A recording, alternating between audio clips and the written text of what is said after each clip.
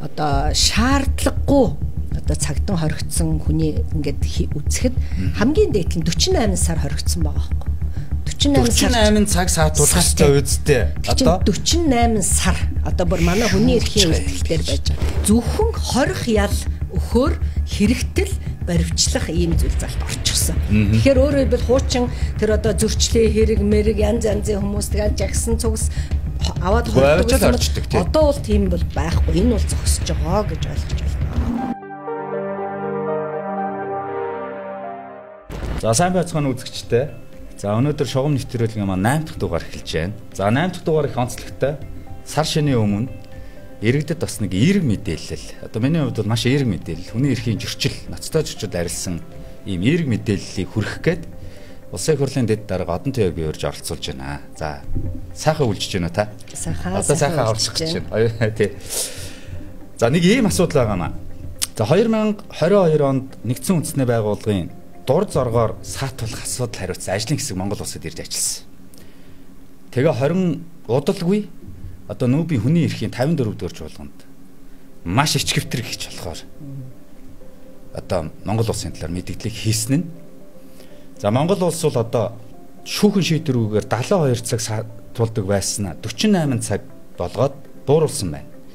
Гэхдээ зөвшөөрөгдсөн энэ 48 цагаас одоо дээд хэмжээг хэтрүүлээд хүнийг ингээд шүүхэн шийдвэрүүгээр дор зоргоороо саатуулж байна гэдэг ийм дүгнэлтийг дэлхийн нийтэд зарлчихсан Монгол улсыг. Энэ нөхцөл байдал одоо үнэхээр тийм хүнд одоо хүний эрхийн маш том ноцтой зөрчил явуулж ирсэн юм?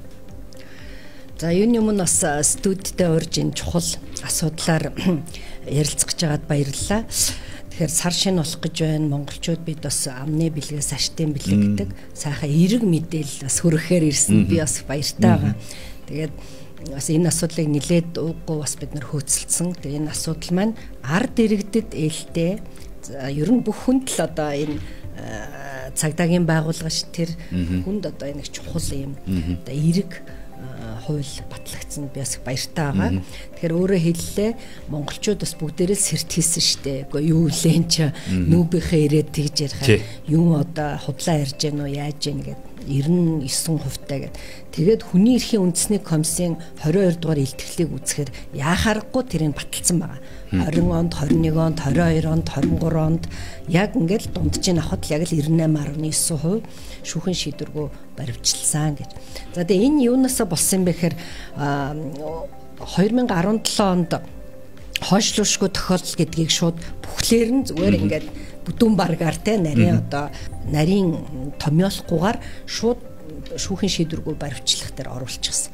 Тэгэхээр энэ асуудал өөрөө шууд энэ ноцтой байдал руу орчиж байгаа. Тэгэхээр яаж юм гэхээр шүүхэн шийдвэргүй одоо баяр ёслолын өдөр амралтын өдрүүдэд ажлын бус цагаар энэ яхааргүй шүүхэн шийдвэргүй зөв мөрдөгчийн шийдвэрээр баг аваачаад хорчдөг. Тий. Субъектив одоо гаар хоригч. За тэгээд хамгийн нийттэй нь тэр нэгд өдөр шүүхээрээд шүүх хурал нь хуралдаад тэр хүмүүсийнхээ талын ингээд чөлөөлөд явуулсан байдаг хөөхгүй. Тэгэхээр юу гэсэн үг вэ гэхээр тэр ямар шаардлагагүй л байсан баг. За тэгээ энэ хооронд юу болж ийн гэхээр айл тэр чигээр одоо бүр ингээ бүгд ингээ шокын байдалд ордог. Одоо нэг хүний ингээ баривчлаа явцдаг. Одоо за тэнгууд бүгдээрээ танил тал руугаа уцдаг. Бүх шүүгч одоо хаана л юу вэ бүгдэн лөө нуцдаг. Энд ч одоо юу вэ? За энэ хооронд бол маш том авилгалын асуудал байдаг нь бас байдаг байж магадгүй. За тийм биш үү. За тэгэл одоо манай хүнийг л одоо ингээл чөлөөлөөд өгөх талаар. За тэгээд ингээд 48 хувийн чөлөөлчлөө. За тэгээд энэ хүний эрхийн үндэсний комиссийн энэ илтгэлийн нэг асуудал юу гэхээр нэгдсэн үндэсний байгууллагынхныг манайхныг арай энэ өөр бид нар чи арай өөр хэмжүүртэй гэж хэлээд байгаа байхгүй. Бид нар олон улсын хэмжүүрээс өөр хэмжүүр гэж байх ёсгүй тийм тийм л байна тий олон улсын бид нар илсэн гэрээ конвенцэд энийг шүүхэн шийдвэргүй баримтчилгаа гинэ. Шүүхэн шийдвэргүй баримтчилгааг бүх улсад одоо хориглож байгаа шүү дээ. Хүний эрхийн ноцтой зөрчил гэж. Энэ бол адилхан Монгол улсад л тийм байх хэвээр. За тэгэхээр одоо энхвэр сайтын үед яг нэхэр яг энэ олон улсын хиллгүүдийг одоо Монголд нутагшуулах тийм ээ бид нар ерөөс олон улсынхаа хиллгээр явъя гэдэг ийм рүү орж байгаа. За тэгэхээр би зөвхөн хүмүүст ойлгомжтой хэлээр ярихын тулд бусад оронд бол одоо хятад, солонгос юу гэдгийг энэ Японд бол тэр хүний хаяг нь тодорхой тодорхой ажил хөдөлмөр эрхэлдэг бол за ер нь баргийн баривчилдаг. Тэгэхээр бид нар чи 92 онд арчсан үндсэн хуулиа батлаад нэг цоо шин э, одоо улс болж штэ. Хүний эрхийг дээдсэн гэж ярьж байгаа штэ. Тэгэхэд нөгөө хуулиуд чинь ингээд ийм нөгөө айцтай юм чинь байгаад байгаа байхгүй. Одоо хүмүүсийн сэтгүүд юу зөвхөр ерөөсөө нөгөө баривчилгаа гэдэг чинь бол бүр аимшигтай. Гинт одоо тэр шөнөрж баривчилдаг. Амралтын цагаар эсвэл шүүхэн шийдвэр байхгүй тавтахын орой баривчилдаг.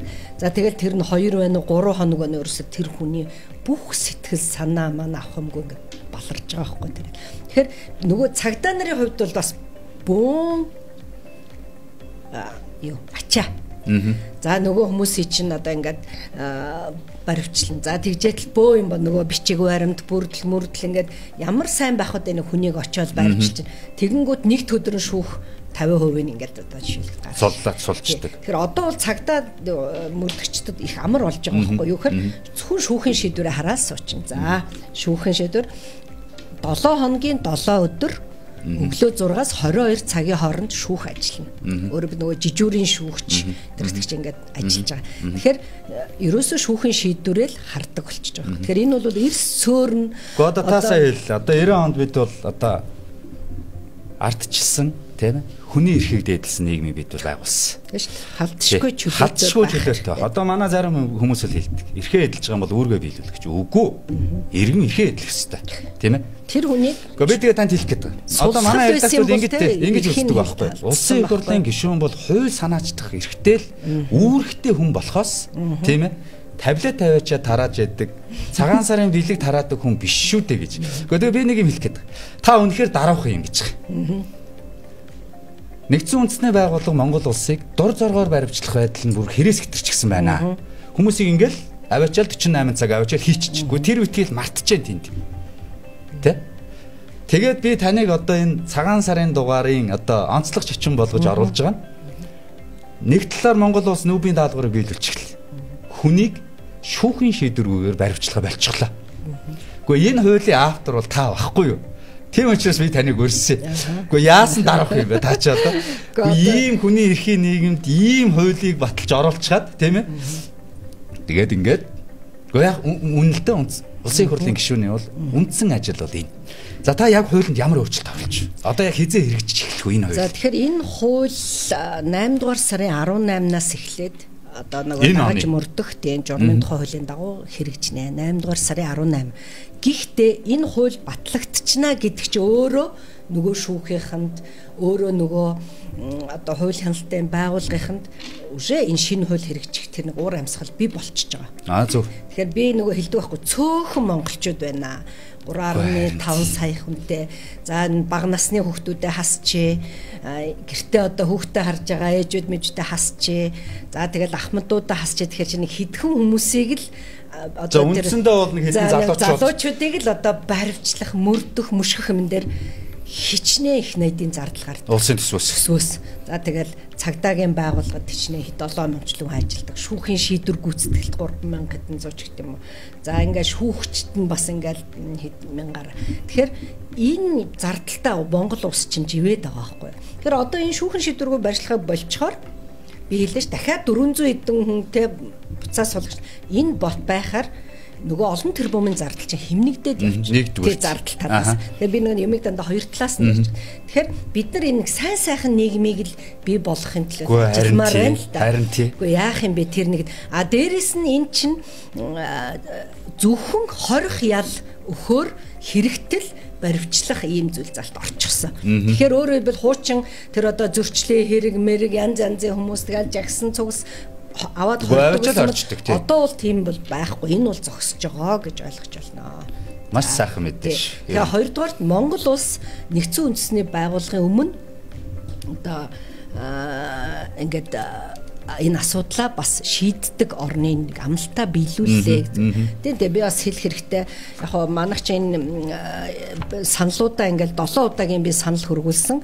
За тэгээд хууль зүйн яам бол энэ дээр сайн ажилласан ажилласан. Одоо нэг Баатар сайн. Үүрэг юм чи тийм хууль сайн дээр бас наана ингэдэг ч гэсэн цаагаараа бүх энэ зүйл залтуудыг бол бас нэлээд наривчлаа судлаад ингээ оруулж ирээ батлуулсан. Энэ дээр бол би баярлж байгаа. Энэ бол Монгол улсын л ирэх. За хоёр дахь нэг асуудал бол цагдаа орох. Бид өөрт чинь нэг өрөдмөр жишээ хэлээ л да. Одоо манай намын хүмүүс чинь нэг маш их онороо. За танаа намын одоо мундаг залуучууд бас л. За тэгэл одоо би чинь эхнэрүүдтэй нь одоо ингээд ярил би чинь нилээд одоо иргэд тойрноо чинь одоо асуудлын хөөцөлтөнд. За одоо тэр ганц удаг 461 400-өөс ч одоо олон удаа очижсэн. За эмхтэй хамгийн түрүүнд таныг яваад өгч гэдэг баг. За тэгэл тэр мэри чинь их тэгэл яриад хилээд байдаг ч асуудал. За тэгээ очиход манай намын нэг хоёр залуу надад бүр нэг юм амжилт загсан юм. За одноо дараа танд нэг л юм захия. Одоо бид нар энд бол ингээд нэлээ удлаа. Одоо бид нар бол яг улс төрийн а биднэрт бол өмгөөлөгч байна. Бидний араас хүй хай гэх нам нь байдаг юм байна. Одоо ингээ өмгөөлөгч хөлслөөд ингээ идэрч ажиллаад араас нь хүй хай гэдээ явж хахад ийм их удаж чинь гэтэл энд ингээ мартагдцсан залуучууд их олноор байд юм байна гэжэлсэн өмгөөлөгч авах одоо мөнгө авахгүй. За тэгэл нэг яг нэг төрийн нэг улсын нэг өмгөөлөгч тэд нар чинь тэгж очиод тэгэл мартагдчихаа гэсэн үг. Тэгэл ерөөсөө тэнд ингээ олон сараар мартагдсан ийм хүмүүс байна. Энэ дээр та одоо заавал хуулийн санаачилж өгөөрэй гэсэн. За энэ эрүүгийн хэрэг хян шийдвэрлэх хувьд бол энэ асуудал ороод бүр батлагдсан шүү. Энэ бол өөрөө маш чухал хууль болсон. Тэгэхээр би одоо тэр намын тэр залуучуудаа одоо энэ амлсан зүйлээ одоо бас биелүүллээ гэж бас юм хоёр талтай. Өөрөөр хэлбэл сая энэ хүний эрхийн үндэсний комиссийн илтгэлийг харж байхад одоо шаардлагагүй одоо цагтан хоригдсон хүний ингээд үзэхэд хамгийн дээд нь 48 сар хоригдсон байгаа байхгүй. 48 цаг саатуулах хэрэгтэй үедтэй. Одоо 48 сар одоо бүр манай хүний эрхийн илтгэлээр байж байгаа. Энд чинь хэдийн 4 жил үү те хэд үү? 4 жил. Хүний эрх гэдэг юм чинь манай нийгэм секундээр хэмжигдэж байгаа. Тэгэхээр энэ 48 сар бол саатуулсан байна. А одоо бол энд юу гэж зааж байгаа гэхээр ингээд жилүүдийн заагаад өгсөн. За 5 5 хүртэлх одоо жилтэй бол тэжнээ сараас илүү цагдаа хорихгүй. Тэргээд бүгдийг ингээд наривчлаад яц. Одоо энийг яриул энд нилээд цаг их орно. Тийм учраас ер нь одоо энэ цагдаа хорих дээр бол ингээд нарийн хуучин бол одоо субъектив байдлаар шийдэхэд одоо наривчлаад орчихсон. Та бол маш том хуулийн хувь цаад хаалт тавьж өгсөн байна. Тэгсэн тэгсэн. Дур зоргоор баривчлах энэ үйлдэлийг. Тэгэхээр одоо мэдээж хүнд одоо хүн амны хэрэгтэй ийм зүйлүүдээр цагтаа хорж тэр нарийн юм гаргахгүй яах вэ гэж а шаардлагагүй одоо тэгж удаан одоо ингээд хамгийн гол нь мөрдөн байтгчиж нөгөө нэг мэдүүлэг авахгүй өчнөөс сарвчдаг байхгүй За хийчихээ. Тий. Тэгэл одоо тийч шүүх хурал нь хизээ болох нь мэддэг. Тэгэхээр энэ бүх зүйлийг бид нар одоо ямар ч үсэн ингээд нэг хатуу хуульчилж өглөө. Энэ бол өөрөө маш чухал ийм одоо залт. Тэгэхээр шаардлагагүй ийм одоо зүйлүүдээс бид нар одоо салж яана л гэсэн үг. Аа энэ хууль одоо 8 дугаар сарын 18-наас хэрэгжин. За тэр бол мэдээж одоо нэг бэлтгэлүүд хийгдэх шүү дээ. Өмнө журмын асуудал ингэдээс. Тэгэхээр би юу хэлэх гээд байна гэхээр бид нар чинь энэ олон хүмүүсээ аль хор ажиллал хийлгэж явах хэрэгтэй байхгүй ажиллал хийлгэж явах хэрэгтэй.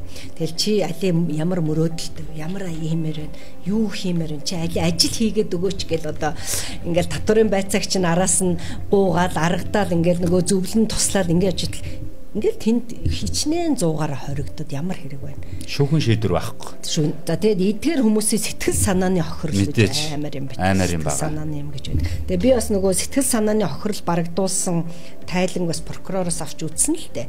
Манай улсад бол энэ ерөөсөө тийм бодит хүний сэтгэл санааны хохирлыг нөхөхөөр тийм охирлыг бол Монгол ус барагдуулдаг юм блэ. Бусад оронд бол аймаар аймаар юм нэгтгэх штэ тий. Хэвээ намайг ингэж сэтгэл санаагаар яас учраас би тишнээ тишнээ манайхан хөөрхий тэгээд нэгтгэж хүн байна. Тэрийг өгдөгчгүй учраас сэтгэл санааны охирл гэдэг юм бол асар их оо том охирл байдаг. За дээрэс нь энэ би хэлээд штэ. Цагдаа нараа бид нар энэ шүүхийнхэн цагдаа нар эдгэр чинь бас л хүн штэ. Тэгэл эднэрийг ингээл одоо зүгээр зүгээр замын цагдаад гэл аваад үзээ л да. Манайх шиг хасах 30 градус гадаа ингээ хөлдөг. Тэгээ би одоо дүүрэгт ажиллаж исэн. Манай дүүргийн цагдаа нар дандаа үе мөчний өвчтэй бөөрийн өрөвсөлтөй байдаг. Яг тэр удаан тэнд зогсож. Гүр энэ бол үнэхээр бид нар чи хүнээ хайрлах хэрэгтэй шүү дээ Тийм биз дээ. Тэгвэл таны одоо хүнлэг арчилсан нийгмийг байгуулна гэж юм шүү дээ. Гэтэл яагаад ингээл бүгдийг камержуулаад одоо тэр цагдаа нар чи ингээд хараад суучиж болтгүй. Одоо бид нар сая манай арчилсан намынхан Бээжинд ингээ очлоо хитэн коммунист намын урилгаар ажиллаа. Тэр төвжирлийг бууруулдаг одоо тэр нэг юм том төвдөр очлоо. Зүгээр өсө хэдэн арваараа суудсан ингээ бүх камерууд ажиллацал харж байгаа. Тэгэл тэнд нэг аваар гарахад л яж. Үгүй энэ ингээл 21-р зуунд энэ цагдаа чи ингээл гудамжин зөксөөл хөлдөө даарад ингээд байх хэрэгтэй юм уу. Тэгэл энэ цагдаа нар чинь бүгдийг ингээл за тэнд нэг тийм хүнийг баривчил тэнд нэг ингээл асуудал үгүй яах гэсэн бэ тийм биз. Тэгвэл нэг талаар таны хууль бол иргэний эрх зөрчигдөхөөс гадна хууль сахиулах байгууллагын аль паагчтай ажлыг ч гэсэндээ хөнгөвчилж өгж байгаа юм байна. Яг. Одоо би нэг жишээ хэлэх гэдэг. 2017 онд бол эрэг хуульд өөрчлөлт ороод худал мэдээлэл тараах буюу эрэг хуулийн 13 14 гэдэг заалт. Энэ бол одоо хэрвээ энэ нь үнэхээр тогтоогдох юм бол тухайн эрэг нэгүүлж орчих эрхийг хязгаарлах ийм ял, ийм шийтгэлээр л оноодог тийм. Гэтэл нөгөө дур зоргоор баривчлах үйлдэл. Эн чинь бол одоо хүний аймнаас охироогоогүй. Улсын төрсөвт одоо авилга албан тушаалын эрэг толбогдож онц их хэмжээний хохирол учруулаагүй. Ийм зүйл залтууд шүү дээ. Гэтэл дур зоргоор баривчлах одоо энэ заалт өмнө нь байсан учраас сэтгүүлч ч гэсэндээ болгоомжл байсан. Яг таны хэлээд байгаагаар 48 цаг саатуулдаг. Бид шүүхтээ итгэв тийм. Шүүхийн зөвшөөрөлтөө саатуулагж байгаа бол одоо яах вэ? Гэтэл энд мөрдөгчийн шийдвэрээр юм уу? Прокурорын даалгавраар ч байдаг магадгүй тийм ээ. Эрхээ хязгаарлуулна гэдгээс бол одоо би зүгээр сэтгүүл зүйн салбарын жишээ хэлж байгаа ш. Үхтлээ магадгүй болгоомжилдог байсан бол одоо таны хууль гарснаар тийм ээ. Дур зоргоор баримтлах энэ үйл явдал бол Монгол улсад үндсэндээ байхгүй болчихлоо. Та тэр хуулийн саатыг хаалтыг тавиад өгсөн учраас би тий туулаа жилийн онцлох гэж хэлж байгаа байхгүй. Парламентын гишүүд бол Одоо цагаан сараар бэлэг тараах биш. Энэ хүмүүсийн үндсэн үүрэг бол хуулийг санаачлах. Хүний эрхийг хамгаалах. Та тэрийг хийсэн л шүү дээ. Тэгэхээр энэний нөгөө зовлон гүйцсэн монгол хөө нөө фэйсбүүк дээр бичсэн байсан. За ста нэрээ энэ хүний эрхийн чиглэлээр ямар чухал хууль батлагдваа гэд постинаас харслаа. Тэгэхээр нөгөө зовлон үтсэн хүмүүс чинь яваад нь шүү дээ. Тэгэхээр энэ бол өөрөө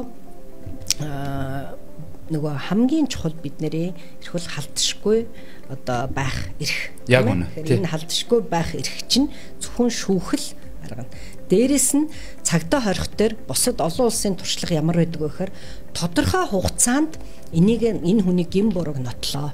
А нотолж чадахгүй л одоо энэ хүнийг суллаад явуул гэдэг ийм одоо хуулийн нарийн заалтууд байдаг. Тэгэхээр бид нар бол тэгэл одоо нэг дур зоргоороо өстө тэгэл нэг цагтаа хориод байдаг энэ асуудал бол одоо ингээл болж байна. Болж байна. Хуулийн саад одоо хуулийн хаалтыг би тавиад өчглөө. Тэгэхээр одоо энийг аль зөв одоо хэрэгжүүлэх хэрэгтэй. За мэдээж хойшлуулшгүй тохиол гэдэг үг бол байна. За мэдээж байлгүй. За тэнд бол гурван одоо зүйл байна тийм одоо яг хүн амны хэрэг гарцсан одоо тэр яг одоо нэгжлэг хийхэд тэр одоо янз бүрийн тэр уулмөр олдсон ч гэдэм үний гурван зүйл залтыг ингээд бүр яг заагаад өгсөн байгаа. Тэгэхээр тэн дээр бол одоо байлгүй яах вэ? Тэм ноцтой зүйлүүд дээр тийм. Мэдээж тэр бол байлгүй. Тэрнээс ч одоо тэгэл янз бүрийн нэг зөрчлийн хэрэгээр шийдвэрлэх гэж болж байгаа. Эсвэл одоо нэг ажилдаа орлоготой нэг хүмүүс янз янзын жижиг сажиг асуудлаар тэгээд танаас тайлбар аваад гэж дуудаад шижигтэн болгочтой гэж штэ нүүб. За тэгээд тэгэнгүүтээ харчдаг. Тийм. Тэгээд тэр өгсөн одоо нөгөө ямар одоо зүйл ангаар яаж яж тэр баримт материалаач өгдөггүй. Тэгэхээр ингээд энд бол нэлээд асуудлууд бол байсан. Бидний нэг засах хэвээр. Гэхдээ нөө бид нар шилжилтийн үедээ энд удаан байгаад байгаа байхгүй юу? Одоо бид нар чинь тэр нэг өмнөх нийгэм чинь бол өөр нийгэм тийм үү? За тэгээ тэр үед гимтэргэнч зөөхөнж гардаг байсан баг. Гэтэл одоо энэ бүх зүйлийг чи ачаал чинь даахгүй шүү. Би нэрээ үнэхээр одоо бас энэ хууль хяналтын байгальд ажилдаг цагдаагийнхан шүүхийнхнийг өрөвддөг шүү дээ. Гэхдээ ямар их одоо тэр материал нь овоорчсан ингэсэн те бид нар л тэд нар л хамаг буу мухагаа чигтгэлс тэнд ажиллаж байгаа хүмүүс өлстө нуруугаа ахуулцдаг амар хэцүү ачаал ихтэй ийм одоо зүйл байгаа. Тэгэхээр ямар ч байсан бид нар нэг алхам бол дуурагшил чадлаа. тэглээ. Гэдгийг хэлэхэд таатай байна. одоо магадгүй ирээдүйд ирэх нь те энэ хууль гараагүй бол зөрчигдөх байсан иргэдий өмнөөс би танд одоо баярлалаа гэж хэлье. Тий. Энэ бол одоо тий энэ бол таны үүрэг тий. Одоо бид бол парламентын гишүүд бол ийм л үүрэгтэй хүмүүс шүү дээ. Гэж одоо бид бол редакцийн төвшөнд хатуу ярьдаг. Танд баярлалаа. Таны одоо батлуулсан энэ хууль бол үнэхээр одоо энэ жилийн онцлог парламентын гишүүдийн мөн чанарыг үнэхээр нийгэмд ойлгуулж өгсөн ийм хууль байлаа. За баярлалаа. Тэгээд сар шинийн өмнө бас та студид ураад иргэддээ нэг ч ихсэн эерэг мэдээллийг одоо тэгмээр шүү дээ. чадсан бол бас баяртай. Жил одоо ингээл нэг хар бараа мэдээлэл манай иргэдтэй. Тэгээ магадгүй одоо олонх нь магадгүй таныг ийм хууль батлаад санаачлаад оруулаад батлуулчихсан дур зоргоор баримтлах үйл явдал одоо ингээд хуулийн хүрээнд том хаалт хэрэмтэй болоод зогсож байгаа гэдгийг мэдээгүй л яваа. Тэгэхээр би энийг бол олон хүн мэдээсэй гэж бодоод таныг би одоо энэ энэ удаагийнхын дугаарт өрсөн. Урилга авч ирсэнд баярлалаа танд. За баярлалаа. Сар шиндээ сайхан шинлээрээ. За манай энэ нэвтрүүлгийг үзэж байгаа хүмүүс бас хуулийн одоо бүгдээрээ мэдлэгээ дээшлүүлж аль болохоор хүний эрхийн зөрчил хаана гарч ийн тэрийг одоо энэ төрийн түшээдтэй хэлж сайжруулах энэ чиглэлээр бас бүгдээрээ ажиллах хэрэгтэй маа. Тэгээд энийг үзэж суугаа бүх одоо иргэддээ сар шиндээ сайхан шинлээрээ гэсэн одоо ерөөлийг өргөн зөвшөөлье. За баярлалаа танд ирсэнд. За.